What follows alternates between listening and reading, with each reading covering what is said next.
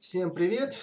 С вами Сергей Чураков и в этом видео я вам сейчас объясню, а, как э, настроить систему, чтобы у вас а, ваш домен бесплатный автоматически либо продлевался, либо снимался с автоматического продления. Напомню, что вот здесь в разделе, в разделе «Купить продукт» есть консультантские пакеты.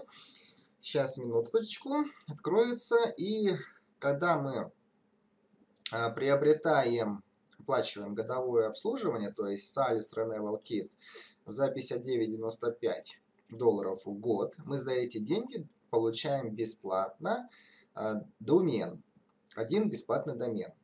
Следующие бесплатные домены, если вы хотите дополнительные домены, вы приобретаете за 11 долларов. То есть один бесплатный домен у вас в этих зонах. То есть зона .com, .net, .org, .info, .us и .biz. То есть эти, эти домены будут у вас бесплатными. Итак, значит, в разделе «Сервисах» будет, вас будет интересовать вот эта кнопочка под названием VWebs. То есть через этот э, сервис мы заказываем доменное имя. Э, также кликаете здесь на, вы, русский язык, либо английский, как вы хотите, на котором понимаете. Здесь заказываете доменное имя. Опять-таки здесь идет дублирование, какие домены будут бесплатными. Заходим в панель клиента. А, так, здесь надо будет ввести а, почту и пароль. Эти данные вы регистрировали, когда оформляли свой домен. Далее, вот здесь есть э, мои домены. Кликаем сюда. Выбираю домен, ставлю галочку здесь. И здесь э, статус автопродления. Вот так нажимаю, статус автопродления.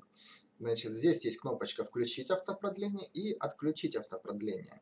В данном случае компания Mary нам уже не интересна стала, Поэтому этот домен уже нам не нужен. Я нажму кнопочку «Отключить автопродление».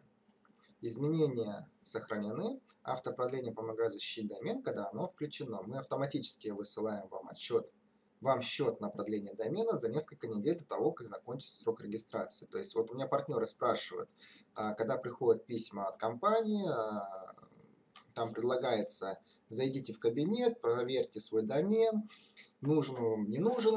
Я вам говорю, если у вас кнопочка включена, значит э, автоматически продлевается. Если отключена, значит не продлевается. То есть я отключил в данном случае автопродление. Так, еще раз проверю. Так, посмотреть данные. И видите, здесь красным написано.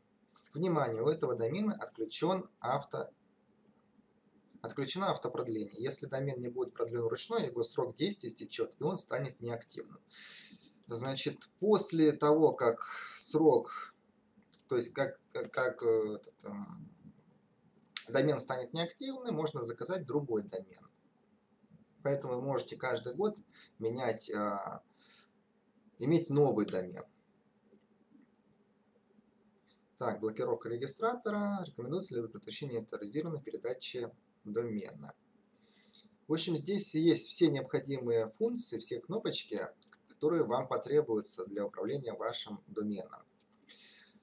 Итак, с вами был Сергей Чураков. Ставьте лайки, подписывайтесь на канал, пишите комментарии внизу под видео, отвечу на ваши вопросы. До скорых встреч!